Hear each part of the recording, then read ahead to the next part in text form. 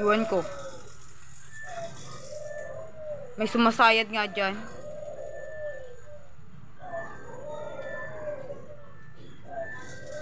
Hindi dyan. Apa yung sa'yo nila yung nasa dito? Hindi lang naman. Ay, gusto natin. Okay. Lagyan natin sa sunod ang Gitna. Hanggang kaya natin nang nag-eton dito ba nila?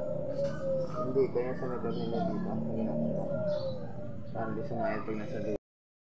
Sila, may pinahihiwati.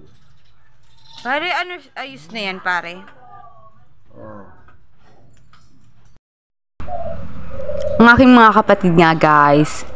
Yan, hindi po sila kambal, pero habang bata pa lang sila, naku, natututo na talaga silang mag-ayos, magkumpuni ng mga sasakyan nila, gaya ng bike, kasi mahilig silang mag-bike, kaya dapat marunong din silang mag-ayos ng mga ng bike, no, yung mga parts ng bike nila. So, yan, magpa-practice na sila, yung naka-white, si Biloy, siya yung ano talaga, marunong talaga siya mag-ayos ng bisikleta, tapos assistant niya lang yung isa, yung naka-itim.